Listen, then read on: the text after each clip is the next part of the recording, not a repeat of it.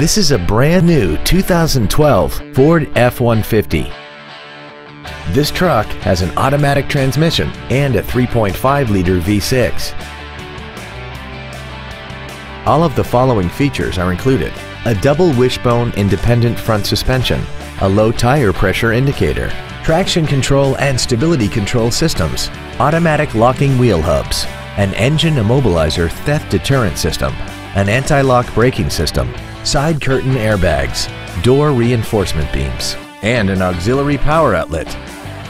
We hope you found this video informative. Please contact us today.